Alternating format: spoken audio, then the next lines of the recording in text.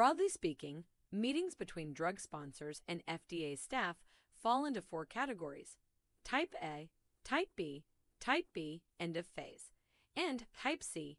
Each meeting type is subject to different procedures and occurs at critical junctures in drug development. Type A meetings are required to restart a stalled product development program or to address a critical safety issue. Before submitting a Type A meeting request, sponsors should contact the review office to discuss the request's appropriateness.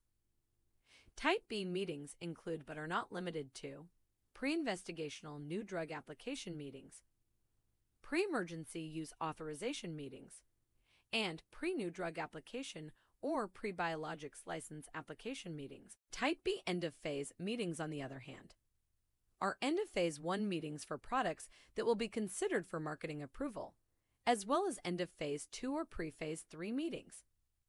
A Type C meeting is any meeting related to the development and review of a product that is not a Type A, Type B, or Type B end of phase meeting, including meetings to facilitate early consultations on the use of a biomarker as a new surrogate endpoint that has never previously been used as the primary basis for product approval in the proposed context of use.